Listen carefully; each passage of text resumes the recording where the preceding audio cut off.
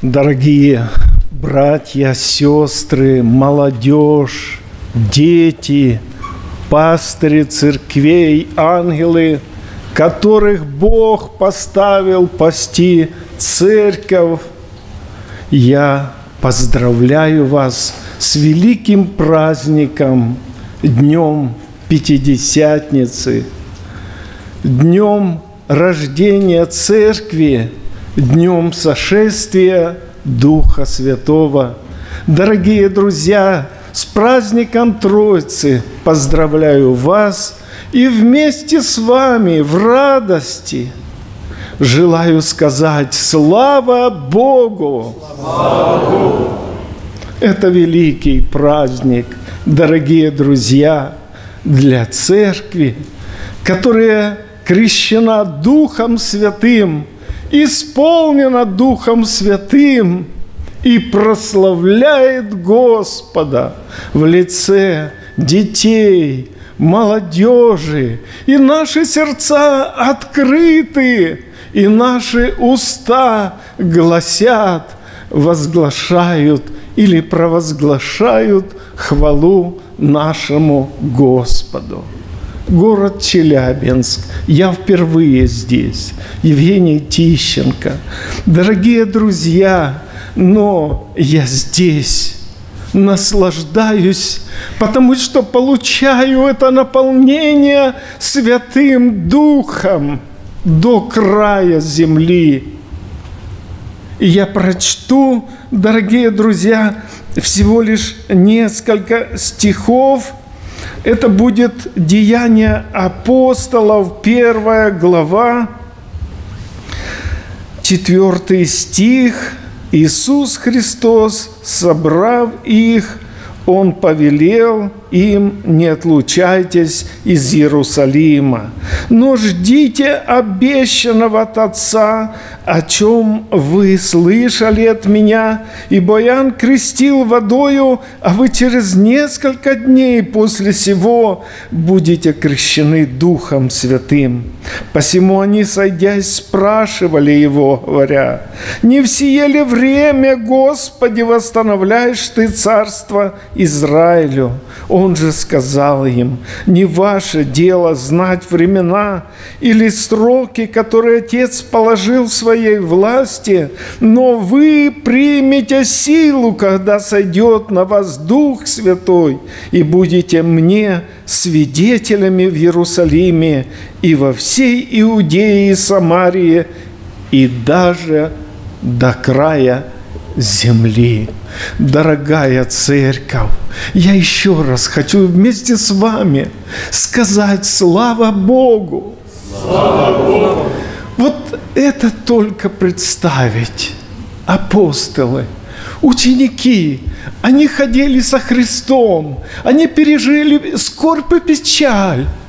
И Христос собрал их вновь для того, чтобы возвестить свою волю, открыть некоторую истину, дорогие друзья.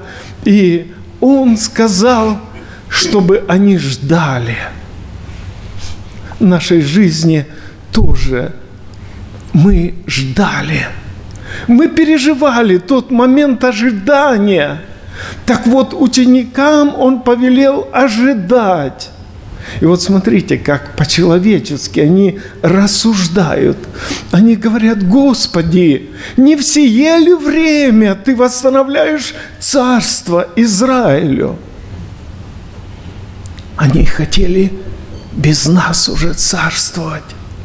Они не думали о будущих поколениях. Они не знали, что такое церковь, что такое новая жизнь в Адаме умерли, утратили, умерли. Дорогие друзья, Христос пришел на землю, это любовь Божия. Для того, чтобы оживить народ, для того, чтобы принести спасение. И Он говорит, не ваше дело знать времена или сроки, которые Отец положил в своей власти – но вы примете силу, когда сойдет на вас Дух Святой, и будете свидетелями мне в Иерусалиме, Самарии и даже до края земли. Ну, я так представляю, за Уральскими горами, дорогие друзья, это уже какой-то край. Мы там на юге больше живем, ближе к Израилю. Но, дорогие друзья, вот только представить. Все это было предсказано. И вот мы проехали несколько церквей, и мы бываем и на Камчатке, и в Калининграде. У нас большая страна, но не только страна, дорогие друзья. Много мы посетили мест, и там, где проживают наши в Австралии, в Америке и в Европе, дорогие друзья, но радость в том, что Дух Святой оживил и мы живая церковь, дорогие братья и сестры, мы живы. Бог это сделал, слава Ему, дорогие братья и сестры. Притом Он сделал нас подобно себе. Он творил так, Он усмотрел так, дорогие друзья. И он сказал ученикам, вы примете силу и будете свидетелями. Не просто, дорогие друзья, он дал дух, чтобы мы поутешались, сидя на скамейках.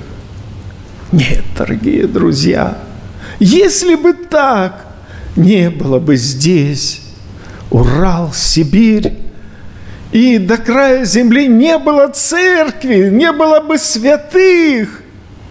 Но силу дал для того, чтобы вещали, для того, чтобы проповедовали, для того, невзирая ни на что, и в тюрьмах, и везде, дорогие друзья, это сила, это Божья сила, это Дух Святой – Дорогие братья и сестры, я вместе с вами еще раз хочу сказать, слава Богу! Слава Богу! Мы крещены Духом Святым, а если кто еще не крещен, дорогие друзья, такая возможность просто сам Бог дает обратиться к Нему – я тоже ожидал.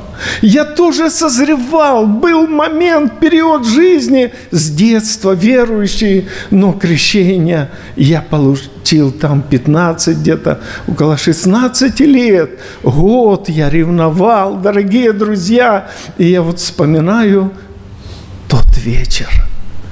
Даже за полночь было – за полночь, когда Бог, моя сестричка двоюродная, мы в Батуме молились, и мой товарищ, и я, трое, в доме Артура Ивановича, пресвитера церкви, и как Бог наполнил нас, нас поднимали, а мы не хотели встать.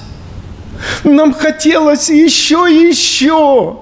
Это было так хорошо. Это совершенство, дорогие друзья, человека, сотворенного Богом. Бог его так сотворил. Он вдохнул дух жизни. И вот, дорогие друзья, когда нас подняли за полночь, было, ну, уставшие все были, Артур Иванович сказал, мы пропоем псалом, будем радоваться, братья, и уже разойдемся – по домам. Нас поздравляют. Дорогие друзья, запели псалом. Тогда рукописные такие были песенники. Вот, и мы смотрим слова и поем. Будем радоваться, братья, прочь уныние и страх и так далее – я не заметил, когда все перешли на иные языки и поют, смотрим в слова, где русскими буквами написано, а мы все поем, нас человек 15 было на иных языках, притом одинаково. Дорогие друзья, это было такое укрепление – для меня чудо, и эта сила благодати посетила в нас, пали на колени, и молитва продолжалась. Слава Богу. Это рождение, дорогие друзья, его забыть невозможно. Я вспоминаю более э, такое время 2003, наверное, или 2004 год. К нам в Рожкау приехали, попросились глухие побыть. Ну, конечно, мы предоставили им возможность послушать духовные темы, преподать пищу духовную. И у меня была тема крещения Духом Святым. И вы знаете, ну, я это же говорю и молодежи, там вообще эту тему. Я проговорил им эту тему, проговорил, и вдруг подняли все руки. Я через сурдопереводчицу, сестру Надю говорю – какой-то вопрос узнай. И она мне говорит, они спрашивают, так мы обделены, мы не можем получить крещение Духом Святым со знамением иных языков.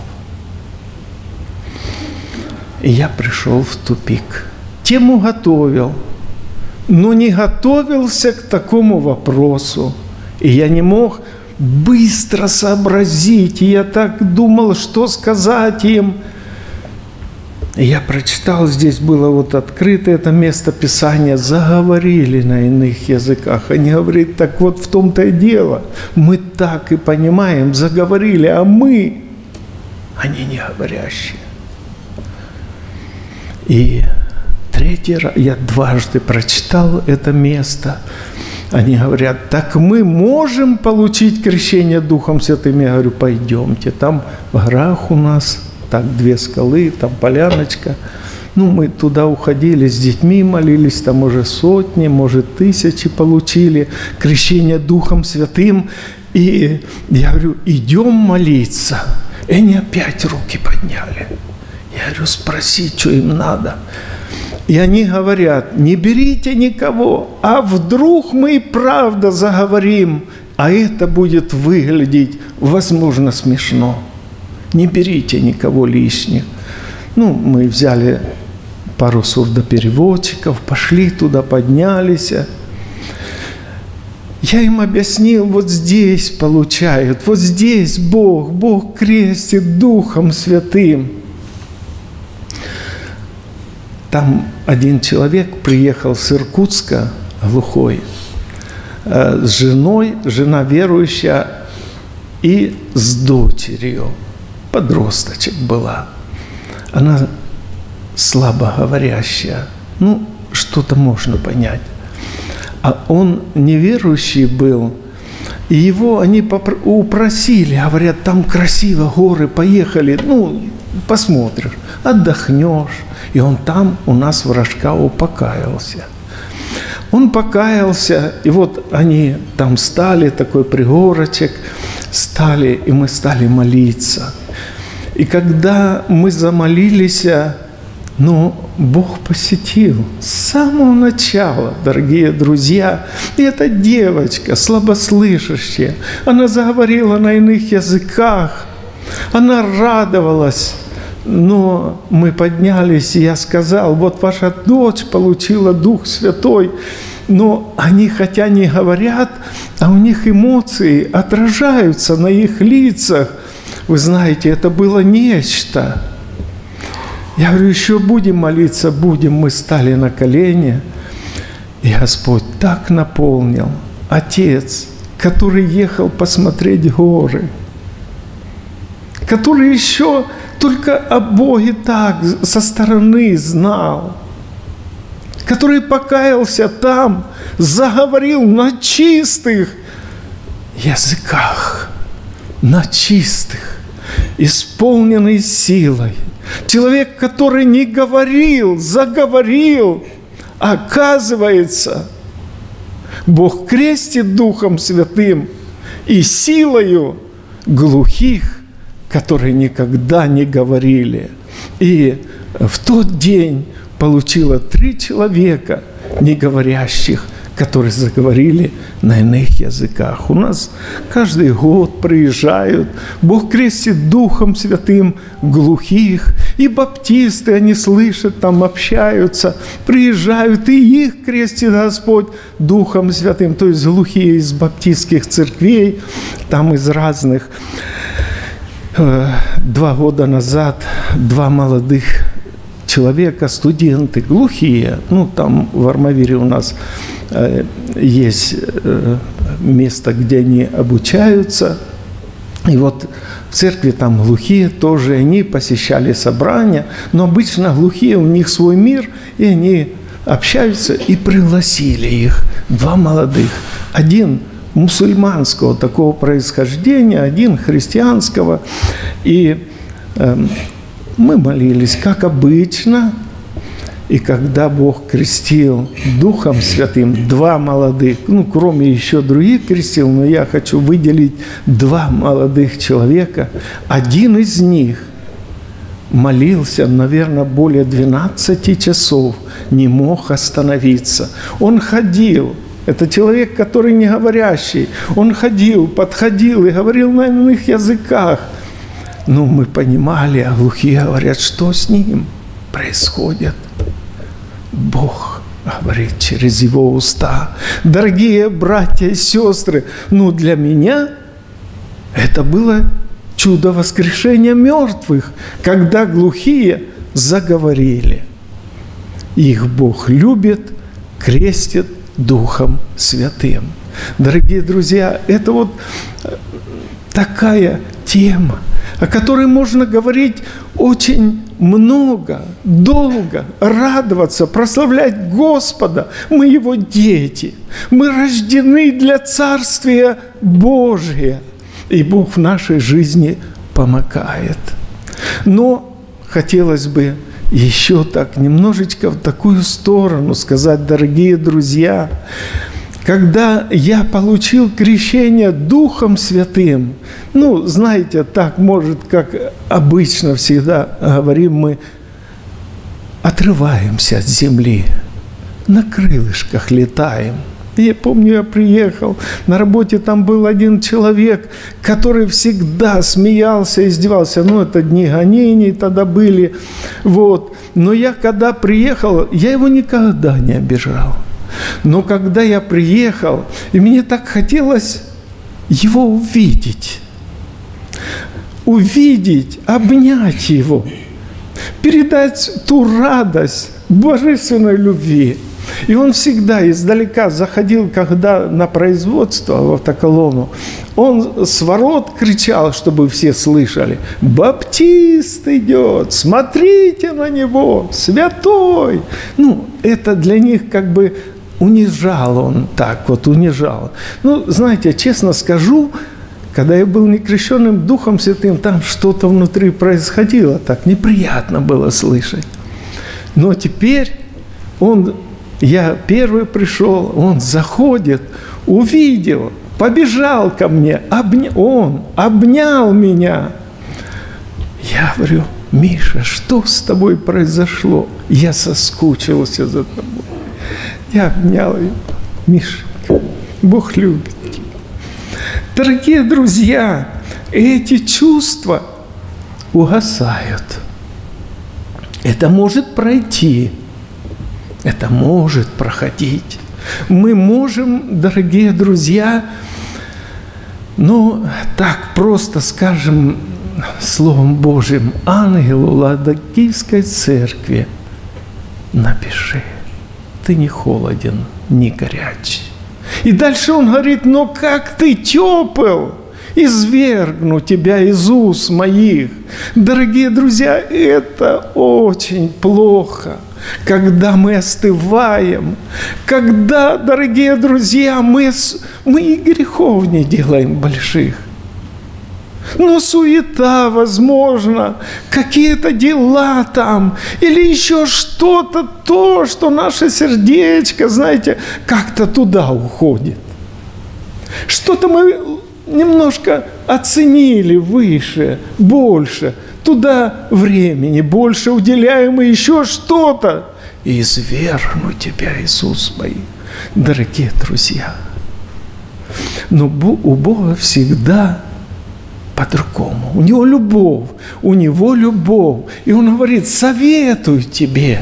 Дорогие друзья, мы ощутили это. Мы чувствуем, у нас есть возможность каяться и покупать золото огнем очищенное, наполнять наши сосуды елеем, чтобы нам гореть в день пришествия.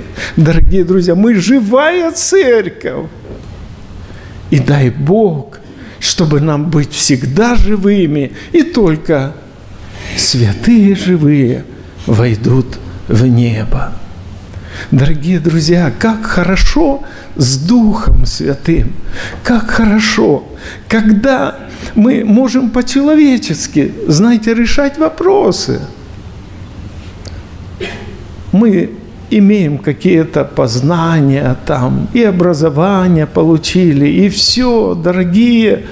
Но как хорошо, когда мы водимы Духом Святым. Нам Бог дал еще девять даров – и мы имеем это, дорогие друзья, в том случае, когда мы живем для Бога, когда мы до края земли идем, проповедуем, когда мы знаем, что мы с Господом, и без Него ничего не можем, дорогие друзья, Бог с нами тоже.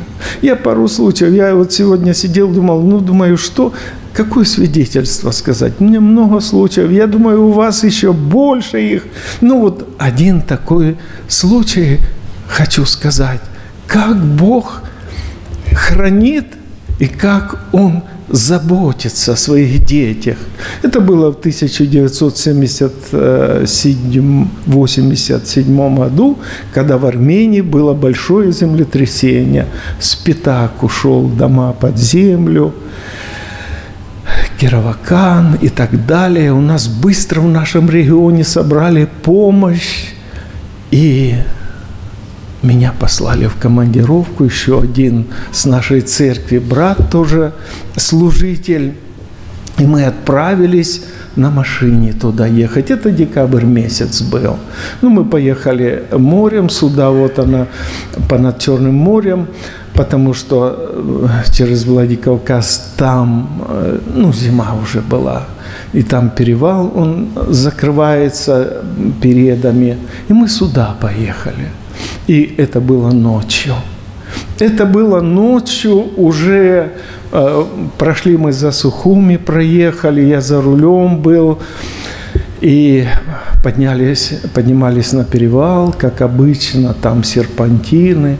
Я про... Это четыре ночи было, без нескольких минут. Прошел один тоннель, выехал, через время второй тоннель, и все же серпантины. И затем третий тоннель. Проезжаю тоннель, выезжаю. Да, еще хочу сказать, за нас помолились, благословили – мы по дороге ехали, молились, а я вот, э, мой э, брат, который со мной был, он спал уже. А я сам ликовала душа, так, знаете, радость, я напевал и еду. Ничего не предвещало, не было нигде ни снега, перевал был чистый. И выезжая из третьего тоннеля, а там сверху текла водичка на асфальт. И наледь большая такая образовалась, а мороз крепкий там. И я заезжаю, когда там с поворотом так, и нашу машину понесло прямо в пропасть. Там, кстати, и трос был порватый, там как бы такое небольшое ограждение. Там потом мы смотрели, далеко речка буль, булькотела там.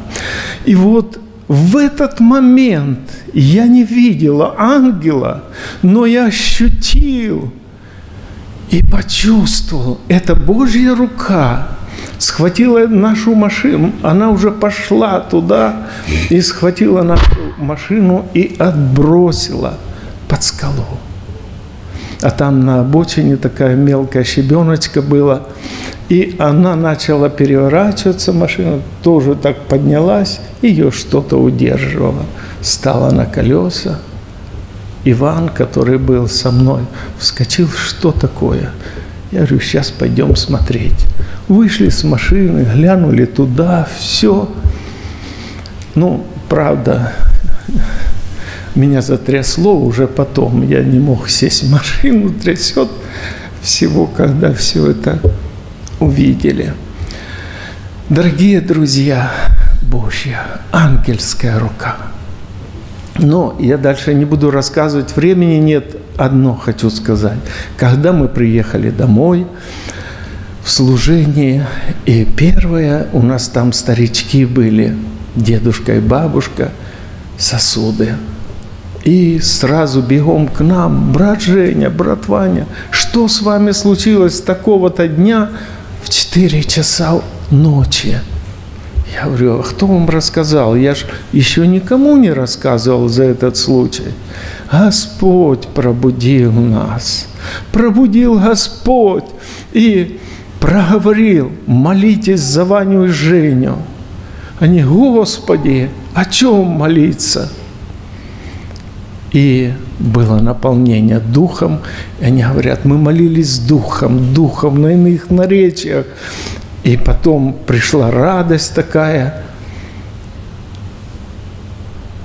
Не, беда миновала. И вот они подошли, спрашивают. Да, дорогие друзья, конечно. С какой радостью мы приняли заботу Божью, мы благодарили Господа в церкви за то, что Бог, Он есть охрана. Он милосердный наш Бог. Дорогие друзья, а в жизни сколько случаев, разных моментов, которые мы, крещенные Духом Святым, от Господа получаем и вразумление. Своевременно Бог побуждает кому-то помочь. Своевременно, дорогие друзья, Бог мудрость дает. Один еще случай, и я буду заканчивать. Это тоже те годы гонения. Нас очень преследовали КГБ, потому что у нас Э, ну, по-современному сказать, лидеры иммиграции в нашей церкви были, и их уже второй раз посадили, те, которые как бы это. Ну, и это очень так нас, как говорится, постоянно держали под контролем. Церковь большая, у нас поселочек небольшой, полпоселка верующих. И вот КГБ. Я служитель на то время был один. И, значит, я приезжаю, главврач говорит, Женя, быстро езжай в военкомат, там высокие люди тебя ждут во втором отделении. Ну, я, я понял, потому что это такой период времени, неделю назад, Зверева и Волкова, фамилии у них такие были, по религиозным культам, они обрабатывали, пытались нам, нас ну, каким-то образом в регистрацию там загнать, ну, и иммигрантов как-то, чтобы сдали там. Ну, знаете, такая работа у них, КГБ. Я еду, а перед этим у нас было вот с Волковой и Зверевой крупный такой разговор, и я как бы объяснился – объяснился, уже все сказал, что нет. Ну, это тоже есть история, но я не буду говорить. Я еду и так расставляю по местам. Вот, я, вот меня это спросят, я скажу вот это, вот так отвечу, вот там все расставил, и так довольно еду, уже доезжаю. И вдруг слышу тихий, нежный голос. Тебя же и не спросят – об этом, о чем я уже решил, как отвечать. И вы знаете, просто слезы брызнули из глаз, я остановился на обочину, я начал каяться, Господи, прости меня. Господи, вразуми. И когда я еще молился, такое, знаете, наполнение пришло, вот, вот так вот, вот полностью, как бы накачали меня. И теперь такая радость, я доезжаю до военкомата, захожу только, там уже девушка бегает, да где вы там, там такие люди собрались. Оказывается, их там четыре человека, начальник КГБ, там еще, я, которых не знала, инспектор. Вот. И я думаю, я их задержал сильно, будут кричать. Открываю дверь, начальник КГБ, столик такой стоит круглый, встает, подходит ко мне, встречает, берет руку и говорит «приветствую» ну, как верующие, а он очень был опытный, слово хорошо знал. Приветствую. Я говорю, приветствую. А, Ой, Евгений Викторович, как ваши детки там, как это, у вас зарплата маловатая, у вас там это, и, знаете, такая лезть, садись, садись, тут вот мы тебе местечко приготовили, они там что-то пишут. Значит, вот мы хорошо подумали, вы очень авторитетный человек, вас все слушают, это все. Вот. Мы вас пошлем учиться в духовную семинарию в Ленинград. И, ну, и там он много чего, зарплату повышаем вам, это ж все, мы только скажем, все будет. Но я это слушаю, меня здесь полно, вот так наполнено. Я еще не знал, что говорить, когда заходил, но тут открываются уста, и то, что надо, я сказал. Я сказал, какие вы добрые, но Бог добрее.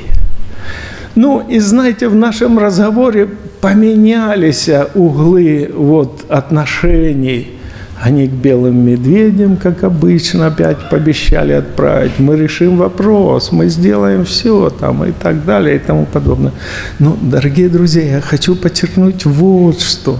Дух Святой своевременно. Я, я не знаю, что бы я говорил или куда бы мои ответы были направлены, если бы вот здесь не было наполнения. Ну, это, дорогие друзья, я два просто свидетельство. Но хочу сказать, дорогие братья и сестры, сосуды необходимо очищать.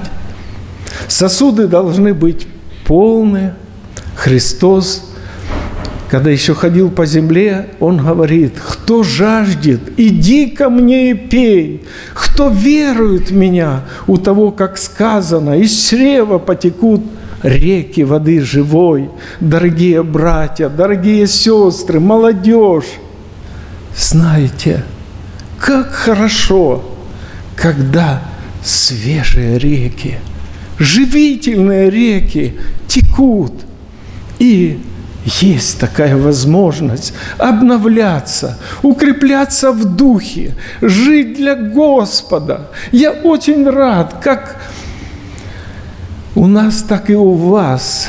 У меня больше сорока внуков, они тоже вот так играют, поют. Радостно, радостно.